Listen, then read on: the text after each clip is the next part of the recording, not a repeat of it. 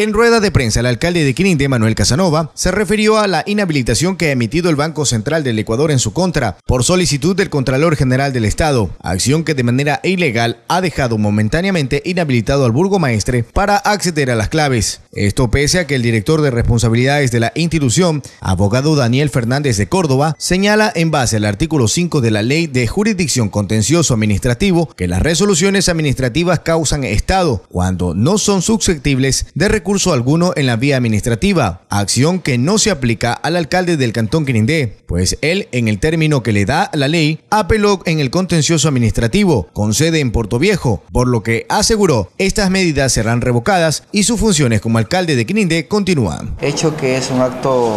eh, que no viene con la parte legal y nosotros frente a eso hemos presentado un documento a, tanto al Banco Central como al Ministerio de Finanzas a fin de que se reponga se resalza este hecho que no, eh, no le hace bien, eh, primero a la democracia, segundo a la institucionalidad, a la autonomía del gobierno municipal y que en este momento nos encontramos eh, en, stand-by porque no podemos hacer el pago de algunas gestiones que nosotros venimos realizando frente a la administración municipal. Esperamos, con el oficio que hemos presentado el día de ayer a las dos instancias,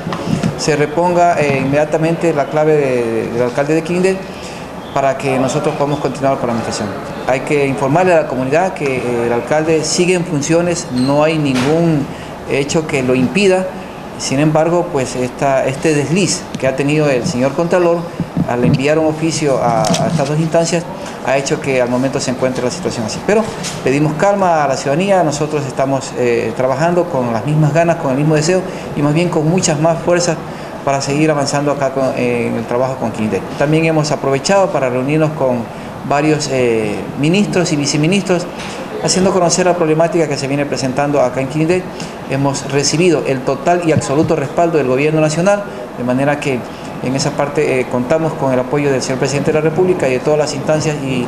el Ejecutivo desconcentrado a nivel eh, del país. Nosotros no podemos ingresar a hacer alguna transacción o transferencia en beneficio de los proveedores, de quienes vienen prestando los servicios. Ventajosamente, el municipio de Quindé está al día con los pagos de los trabajadores, está al día en lo que tiene que ver a, las obras que se vienen ejecutando, no hay ni una sola obra que esté eh, paralizada, pero sí, ya futurológicamente, si esto eh, persiste, cosa que no debe ocurrir, porque en este momento nos están impidiendo a nosotros accionar de manera efectiva y, e inmediata en cualquier cosa que se nos presente. Por ejemplo, si algún tema de emergencia nosotros debemos movilizar recursos para solucionar ese problema, allí se estaría presentando y violentando un derecho al gobierno municipal eh, donde se ha intervenido con, con la autonomía del gobierno municipal. Primero nosotros estamos apelando a que haya eh, la conciencia clara de que se ha obrado eh, de una manera equivocada, erróneamente, por parte del Contralor al enviar este oficio a estas dos instancias del gobierno nacional y esperamos que se eh, puedan restituir las claves. De lo contrario, nos queda la otra opción de poder delegar. Esa es una opción que efectivamente así ocurre. Por ejemplo, le cito el caso de, de Muisne. El alcalde de Muisne, Eduardo Probaño, está impedido de él poder ingresar o,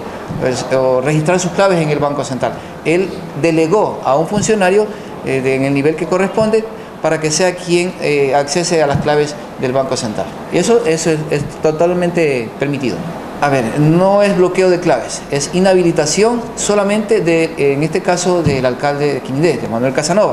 Eh, la señora tesorera Seleni Moreno, ella puede acceder tranquilamente a todas las cuentas, al movimiento que existe en el Banco Central del, del municipio de Quindé. Pero en este caso, es, vuelvo a repetir, es una situación ilegal, ilegítima, que contraviene con todo principio legal. Mire, eh, nosotros eh, hemos estado entregando toda la información a la Contraloría. Eh, hay efectivamente dos, eh, tres sanciones en, contra del alcalde, a las cuales en los dos casos ya la hemos presentado la impugnación. No hay sentencia ejecutoriada. La Contraloría no tiene la potestad de seguir accionando frente a una resolución en la vía administrativa, sin embargo está haciendo gestiones y acciones en contra del administrador, que es en este caso Manuel Casanova, cosa que está eh, muy mal. El Contralor General del Estado envía un oficio al gerente del Banco Central motivado este mismo, su contenido en el artículo 11 de la Ley Orgánica de Servicios Públicos, tal como lo podemos demostrar en este documento. Si nosotros revisamos el artículo 11 de la Ley Orgánica de Servicio Público, el cual manifiesta el Contralor General del Estado o el Ministerio de Relaciones Laborales, por iniciativa propia o a pedido de la ciudadanía, solicitarán por escrito en forma motivada la remoción inmediata de la servidora o servidor público que estuviera impedido de serlo, previo al sumario administrativo correspondiente. Ahí encontramos la primera anomalía, ya que eh, Manuel Casanova, por, su, por, por la dignidad que él ostenta, él no es sujeto de sumario administrativo, sino que lo que él tiene es una resolución de la Contraloría de destitución, las cuales dentro del término legal indicado en la misma ley orgánica de la Contraloría fueron impugnadas en el Tribunal Contencioso Administrativo, lo cual el artículo 58 de esta ley orgánica manifiesta que de impugnarse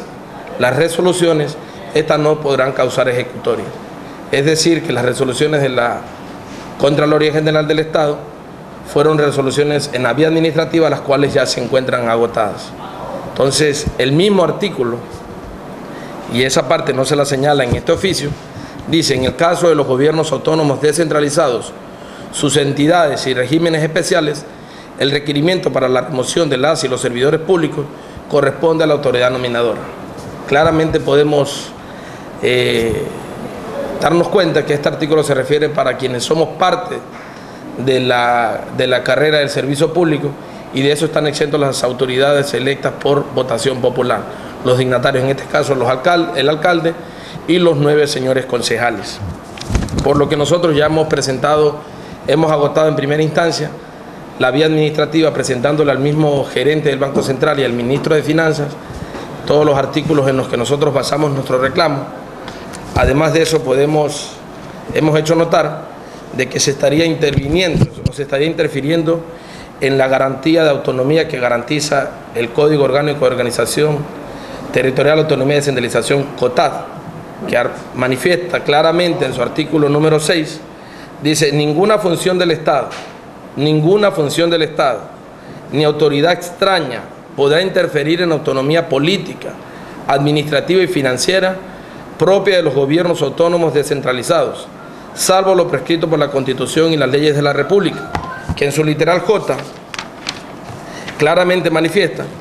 que no podrán ninguna autoridad extraña a los municipios interferir o perturbar el ejercicio de las competencias previstas en esta Constitución este código y las leyes que les corresponden como consecuencia del proceso de descentralización. Es decir, el Contralor General del Estado, claramente como en un, en un oficio de, de fecha 12 de febrero del 2016, firmado por el abogado Daniel Fernández de Córdoba, director de responsabilidades, en el que él claramente manifiesta de que la Contraloría no puede hacer nada más que llegar hasta el tema de las resoluciones que ya fueron impugnadas dentro del término legal que en su parte que concluye manifiesta claramente, dirigido al oficio al doctor Lizardo Manuel Casanova Montesinos con fecha 12 de febrero del 2016. En tal virtud, no le corresponde a este organismo técnico de control pronunciarse sobre su petición y menos aún realizar gestión alguna. Esta parte es importante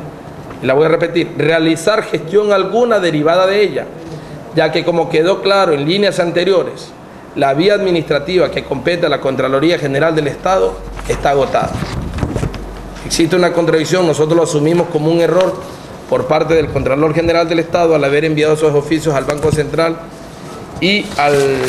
Ministro de Finanzas pidiendo la inhabilitación del doctor Manuel Casanova Montesinos. El alcalde traía colación el tema de Ángel Bernal porque a él usted hablaba de Eduardo Proaño, pero nosotros traemos a colación el tema de Ángel Bernal, que en su momento, en el periodo 2009-2014, fue removido ilegalmente por los concejales, pero en todo caso, legal o no, fue removido de su cargo. Al siguiente día, el vicealcalde en ese entonces fue hasta el Banco Central y le concedieron el clave. Producto de eso, los legisladores, por, por impulso de AME Nacional, presentaron un proyecto de ley para reformar el artículo 336 del COTAD, que hoy claramente manifiesta que para poder el Ministerio de Finanzas o el Banco Central entregar las nuevas claves, se necesita de la resolución del Tribunal Contencioso Electoral, quien avalizará o no el proceso de remoción seguido a la autoridad nominadora. En ese caso, cuando fue el tema de Ángel Bernal, no hubo tal resolución y le entregaron al vicealcalde. Por eso se tomó esa precaución. Pero en todo caso la clave, la clave recayó en el vicealcalde. Hoy podríamos decir de que el municipio de Quirindé nadie cuenta con, nadie puede ingresar al sistema, no podemos hacer uso de los recursos. Ya decía el alcalde, se nos pueden presentar casos emergentes y no podemos hacer uso de los recursos que legalmente son asignados al gobierno municipal del Cantón Quirindé. Por lo que la acción que nosotros hemos presentado ya en el Ministerio de Finanzas y en el Banco Central, confiamos que eh, con la premura que el caso requiere, van a resolver y rehabilitarán el sistema. Igual hay otros caminos legales que de no ser atendidos por esta vía administrativa, nosotros los tomaremos. Bueno, hay dos, hay dos, resoluciones que está, estamos a la espera.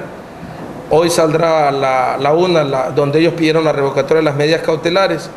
Nosotros confiamos, ya hubo una, una resolución muy clara, muy sabia por parte de la señora jueza, la doctora Rocío Ávila Cox,